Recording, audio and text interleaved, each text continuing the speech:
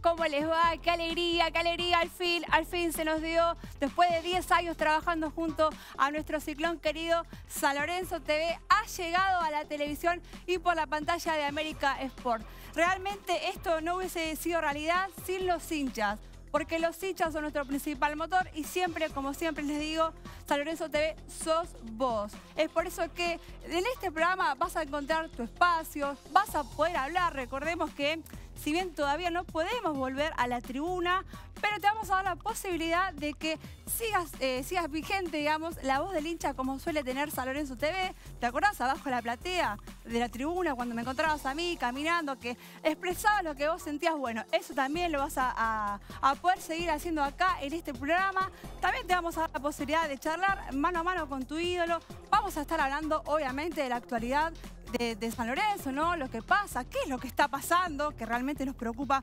muchísimo a todos este presente que estamos transitando. Hay muchas cosas por aclarar, muchas cosas por hablar. También vas a tener, eh, grandes, vamos a tener grandes sorteos, y, eh, pero no voy a darte más detalle. Quiero que, que a medida que vayan pasando los programas, vos, que estás del otro lado de la pantalla, lo vayas descubriendo a qué, es lo que vamos a ir desarrollando. Pero yo no voy a andar hablando más y no voy a, decir más nada y voy a sentar porque no estoy sola, no voy a estar sola durante este programa. ¿no? En, este, en esta ocasión, cada vez que hagamos un programa San Lorenzo TV va a haber un, periodista invitado que nos va a, venir a brindar eh, su opinión respecto a la actualidad de San Lorenzo y es por eso que le doy la bienvenida a Daniel Fava, que siempre está junto a San Lorenzo. Buenas, tardes. querida, ¿todo bien? ¿Cómo va? No, no es la mejor semana, pero acá estamos. Y eso, bueno, está bueno para hablar un poco de fútbol y demás, ¿no? Y de fútbol, ¿de qué pasa? Bueno. Vos que transitas los pasillos hace muchos ¿Qué años. Pasa es muy amplia la pregunta, pero bueno, uno va a intentar dar la opinión y ver desde la óptica que, que uno ve de San Lorenzo hace tanto tiempo, qué es lo que puede estar sucediendo, ¿no?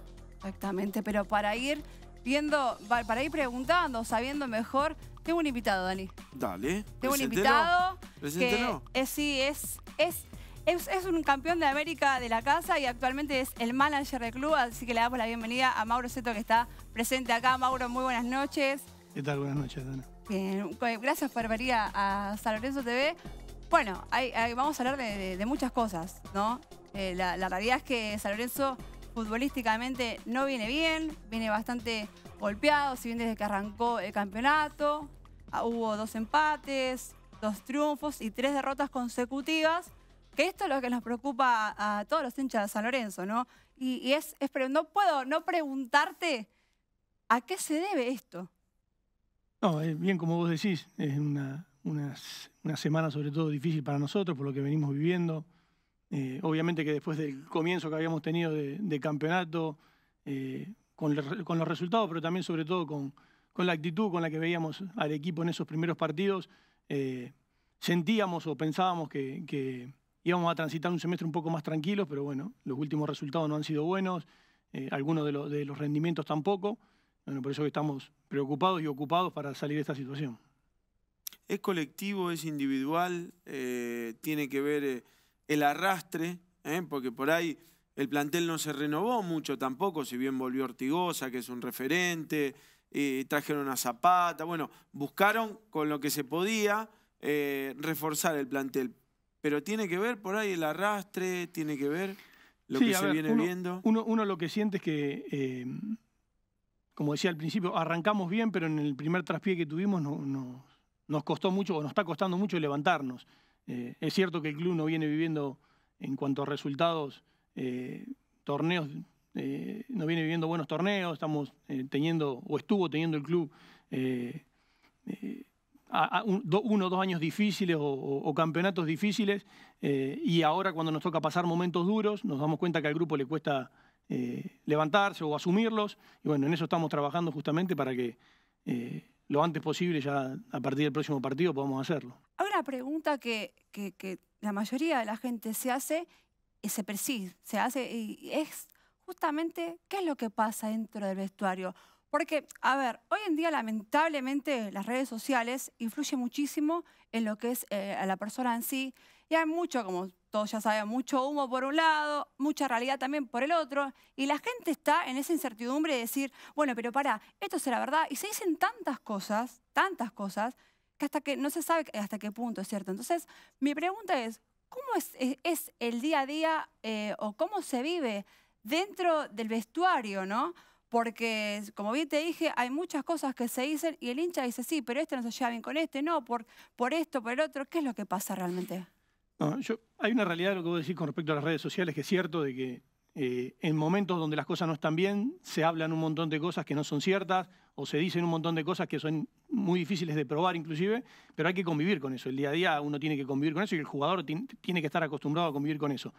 En cuanto a cómo se lleva cada uno con el otro, nosotros salimos campeones de América y no éramos todos amigos. O salimos campeones con en el campeonato con Pisi, tampoco éramos todos amigos, pero sí teníamos un objetivo común, sí teníamos claro eh, qué queríamos, cómo lo queríamos. ¿Y eso pasa ahora? Eso es lo que tenemos que tratar de encontrar. Que si no está pasando, encontrar el porqué. Eh, porque justamente creo yo que para lograr un objetivo, primero tenemos que estar todos encolumnados detrás del mismo. Hoy por hoy, no hoy, pero desde ya hace un tiempo, eh, evidentemente el club no encuentra eso, o, el plantel en sí no encuentra eso, eh, y por eso se traducen resultados que no son los que esperamos. ¿Cómo está el técnico hoy?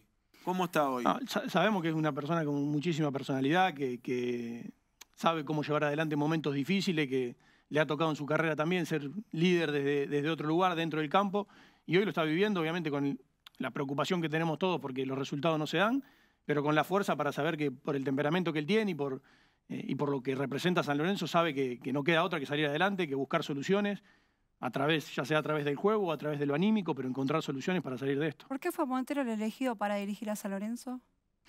Yo creo que lo, he explicado varias veces. Eh, yo el análisis que hice de este plantel es que necesitaba un, líder fuerte, un líder que, sepa llevar adelante grupos eh, que por ahí tenían esto, esto que hablamos anteriormente, esto de, no encontrar un objetivo común. Eh, y, en, ese, y en, ese, en esa búsqueda del entrenador, entre las posibilidades que teníamos, creo que el que, que tenía esos requisitos era Paolo, eh, y porque también conocía el club, sabía lo que era pelear arriba, sabía lo que era jugar cosas importantes como jugador, y todo eso reunía un poco las características de lo que estábamos buscando nosotros. Hablas de líder y se me vienen cuatro figuras actualmente importantes dentro del plantel que te quiero preguntar justamente. Por un lado están los hermanos Romero, eh, y por el otro, de líder a Ortigosa y a Torrico. ¿Qué es lo que pasa? O sea, ¿por qué? Creo, creo que cuando nombras a, esos, cuatro jugadores, cada uno en sí son líderes de distintas formas. Eh. Este, este, tipo de, digamos, de ego, ¿no? Está mal decirlo, pero se sabe que dentro de un plantel uno es como que tiene más ego que el otro. ¿Juega en contra? No, yo creo que hay que saber convivir con eso. En un, grupo de 30 personas, como son los planteles de fútbol, obviamente que hay diferentes egos, hay personas que piensan más en sí mismos, otros que piensan más en lo colectivo, eh, pero todo eso hay que saber unirlos o, llegar a un acuerdo para que, como dije anteriormente, estemos todos detrás de un mismo objetivo. Cuando hablamos de liderazgo puede ser desde lo futbolístico, puede ser en el vestuario, puede ser desde el ejemplo, y en estos casos que vos nombraste, más o menos son esos, el liderazgo que tiene cada uno de ellos. Después lo que tenemos que lograr es que el liderazgo que cada uno aporte sea en, pos de que al club le vaya bien, que es lo único que interesa. Y respecto a los hermanos Romero, que el último partido, que no, iban a concentrar, que no fueron tenidos en cuenta en el once principal de Montero, ¿qué es lo que está pasando? ¿Se quieren ir? ¿Se quieren quedar? ¿Se les va a renovar? Porque supuestamente tienen contrato hasta fin de, eh, hasta diciembre, si mal no recuerdo. Hasta junio, sí. Este, eh, ¿Quieren extender eh, la vinculación con San Lorenzo un año más o eso se está palabrando todavía? A ver, cuando hablamos antes de rumores, eh, que, no se saben de dónde salen o si son reales o no en ningún ah, sí, porque dijeron, eh, te lo pregunto justamente para sacarme esta duda, porque realmente lo que se dijo la semana anterior sobre Romero, no, que los Romeros se quieren ir de San Lorenzo, que, que Montero no lo quiere, que la dirigencia no lo quiere, que, que vos tampoco lo querías. Entonces, por eso digo que se, hablan de muchos rumores, o en las redes sociales hay muchos rumores que después uno no puede salir a aclarar cada uno de ellos. Eh, Sí que Paolo decidió que no jueguen este, este fin de semana de titulares, pero después terminaron entrando. ¿Pero por algo particular decidieron? No, porque evidentemente porque considera que no, no están rindiendo como lo pueden hacer dentro del equipo, o, no están rindiendo en función de lo que el equipo necesita. Y, de acá el jueves, eh, calculo que Paolo también eh, tomará la decisión que crea conveniente en función del equipo. Eh, después, con respecto a si se quieren ir o no, es cierto que hubo una charla y hubo una reunión en la que ellos pidieron escuchar propuestas, si es que llegan, y de la, en la cual nosotros eh, eh, aceptamos que si llegan propuestas por ellos, la escuchemos y hablemos si son convenientes para el club primero y después si son convenientes para ellos. Pero la reunión en sí fue para charlar sobre su posible renovación de contrato, porque como hablábamos recién, eh, tienen un año más y, hay que pensar o en, una venta o en una renovación. ¿A dónde apuntás vos? Vos llegaste, te tocó elegir el técnico, te tocó este arranque que fue bueno y hoy es malo. Eh, y me imagino que, tenés una proyección, o sea, ¿a qué apuntás? ¿A rearmar un plantel? ¿A sacar eh, la malaria rápido y que, no sé, y que llegue la buena en algún momento? ¿Cuál es tu objetivo hoy como manager? mi, objetivo es que empecemos a ser un club previsible. Previsible en cuanto a que sepamos dónde vamos, sepamos lo que queremos no empecemos con un objetivo y a los dos meses tengamos que cambiar porque pasaron tres cosas partidos, en Ya estamos, ya empezamos a los, tres, a los tres partidos, no a los dos meses.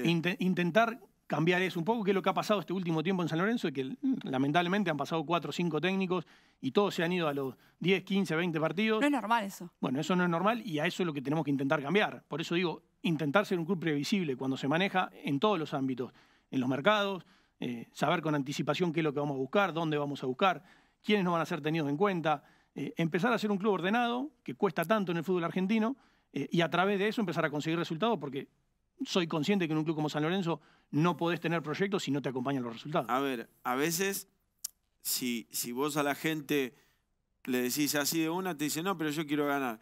Pero el mensaje tiene que empezar a llegarle a la gente.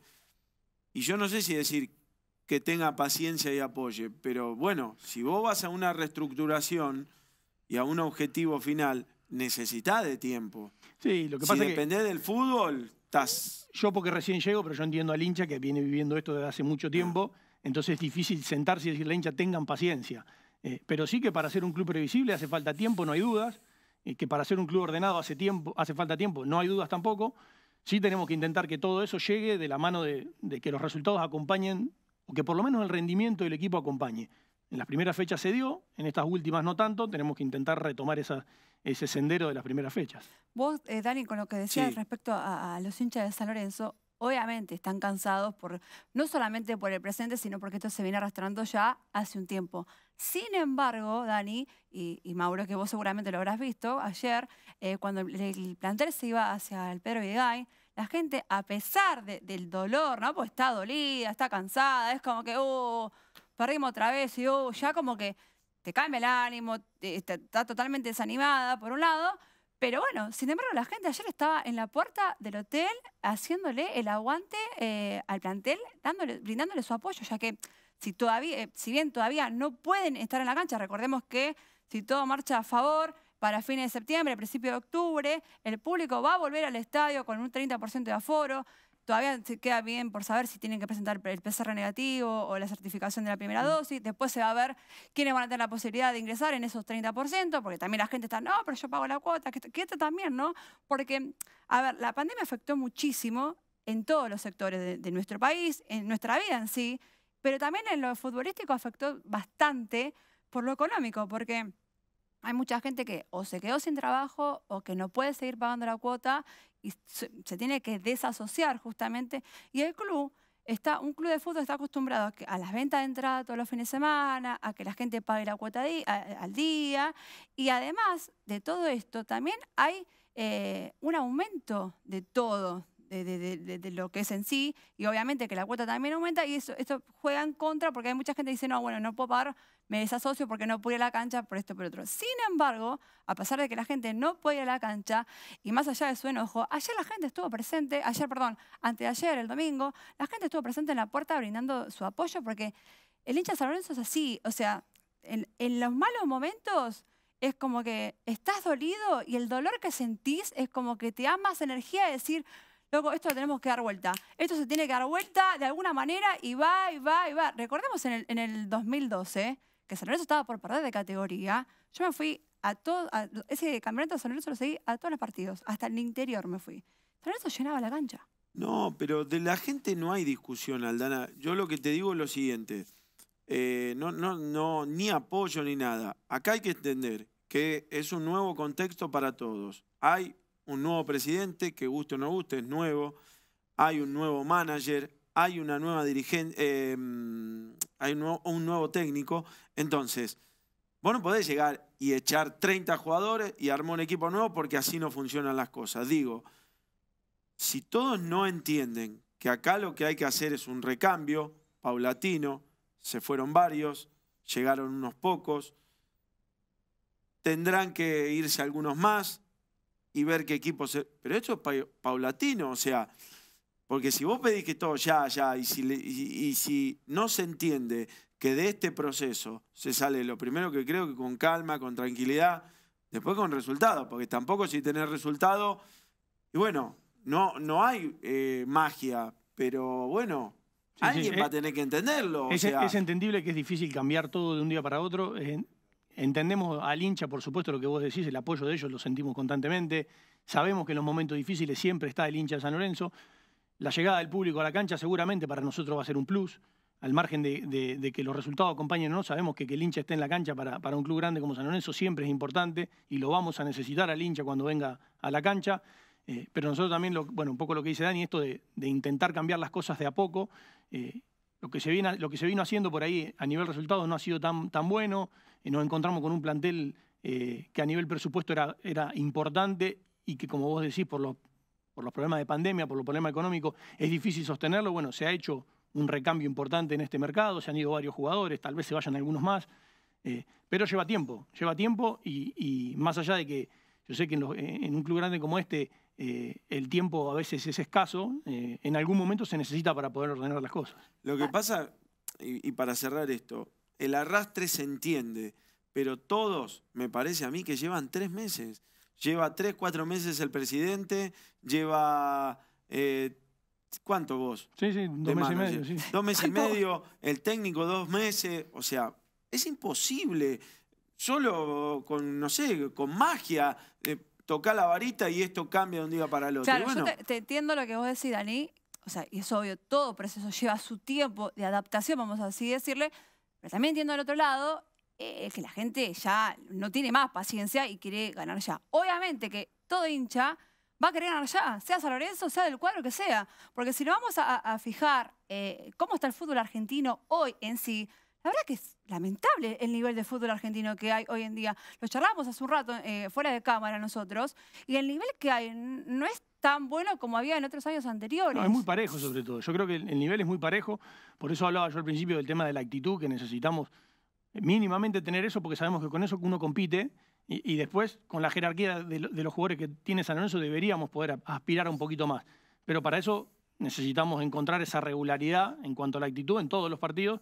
En estos últimos lamentablemente por ahí no, no, ocurrió de la misma manera, eh, pero bueno, apuntamos a, volver a encontrar eso sobre todo. Dani, vos recién hacías mención justamente que hace tres meses están todos, ¿no? Eh, presidente nuevo, técnico nuevo, manager nuevo, somos todos nuevos. Pero la gente a ver, vamos a hacer, eh, Horacio Barresegor asumió cuando Marcelo Tinelli presenta licencia eh, mm. a su presidencia. Y la gente todavía no entiende eh, que el presidente es nuevo, porque se, como si bien estaba dentro de la fórmula de, lo que era con Marcelo, este, el presidente, la gente dice no, pero es más de lo mismo. No, no es más de lo mismo, es un presidente nuevo. Bueno, por eso, o sea, si la gente no lo entiende y acá lo primero que se hace me Te pregunto porque lo meten a todos dentro de la Bueno, pero no es así porque eh, hay un proceso nuevo y un recambio general. O sea, quienes estaban en las decisiones ya no están más. Quienes estaban dirigiendo al equipo quien ya no están más. Estaba el puesto de manager con una persona, ahora hay otra. Está, es todo nuevo. O sea, para elecciones faltan dos años. Entonces, hubo un recambio dirigencial por decisiones. La gente que está ahora toma decisiones, la gente que estaba antes ya no participa. Bueno, si no se lo entiende, hay que explicárselo hasta intentar que lo entienda, que se apoye, que se tenga paciencia. Y bueno, el hincha no tiene paciencia, el hincha es pasional, y bueno, pero está bien, ¿y qué hacemos? Claro. ¿Qué hacemos? Tocamos el botón y, vuela todo por el aire. pasionales somos todos y, las derrotas nos duelen a todos y, disfrutamos cuando ganamos, pero entendemos que eh, el fútbol argentino hoy no te permite tampoco eh, apuntar tan a largo plazo si no vas paso a paso. Nosotros queremos empezar a dar pasos de a poco para empezar a agarrar confianza, primero como institución y después como equipo. Yo lo que creo también, si vos decís, bueno, ¿y qué le... Y bueno, la verdad, quizás este plantel de a poco necesite un recambio y todos aquellos que vienen en el arrastre y que a la gente le generan esa bronca, ese sinsabor, e, esa sumatoria de años no muy buenos, y bueno, de a poco van a ir saliendo, entrarán otros, se construirá un, equipo un poco más sólido o con la mística de, de él, del nuevo presidente, del entrenador. Y bueno, será el camino entonces, de acá a un tiempo, tres meses van, ¿eh? Tres meses de acá a un tiempo, si las cosas no logran enderezarse, digo, bueno, muchachos, ya hace un año, un año y medio que están en el club. Ya se acabó el discurso de lo nuevo. Ahora son ustedes, bueno, pero ahora van tres meses, es muy pronto, me parece. Hablando, hablando de recambio, te saco un poco del contexto de fútbol. Este, vamos a estar eh, mostrando el, tape justamente de lo que pasó el jueves pasado porque hubo un recambio en el básquet, ¿sí? Eh, asumió un nuevo técnico, Álvaro Castañeira, fanático de San Lorenzo. Eh, vamos a, a, ver justamente la presentación que se realizó en el Polideportivo junto al presidente Horacio Recegor.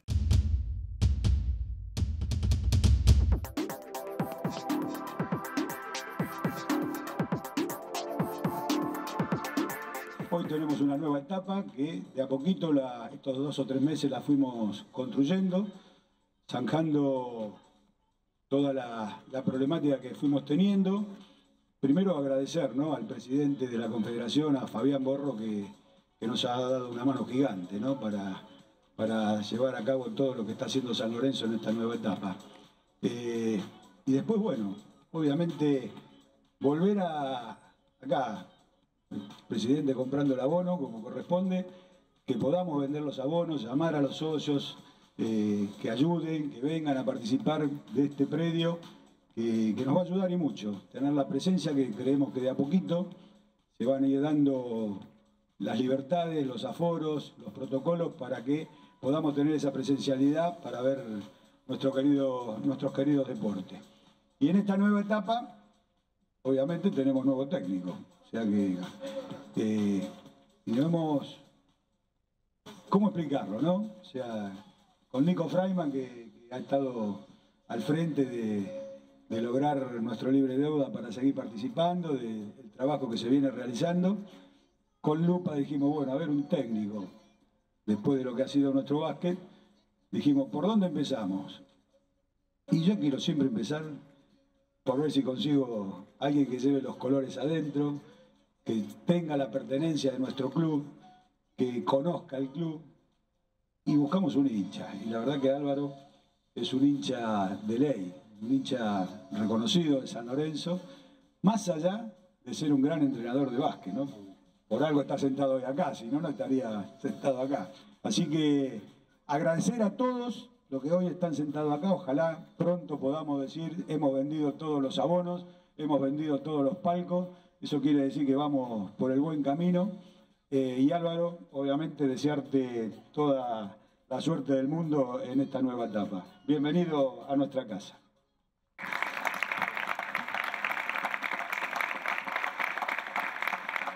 Bueno, buenas tardes a todos. Gracias. La verdad es que estoy muy honrado en estar acá, en mi club. Eh, la verdad que me emociona. Es mi infancia, mi viejo. Así que, aunque parezca que venda humo, es lo que me pasa. Eh, y la verdad que estoy feliz de estar acá.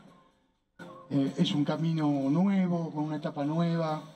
Eh, como decía yo, digamos, es muy importante lo que hizo San Lorenzo en el básquet, pasó a formar parte de la historia grande de la Liga Nacional y ahora quizás nos toque recorrer otro camino. Estoy muy conforme con el plantel que, que conformamos y mi gran deseo es tener un equipo que nos represente. Si podemos lograr este año, obviamente que todos quieren ganar, el éxito está puesto en el triunfo, pero para mí el éxito va a estar en lograr un equipo que nos represente y para eso vamos a trabajar.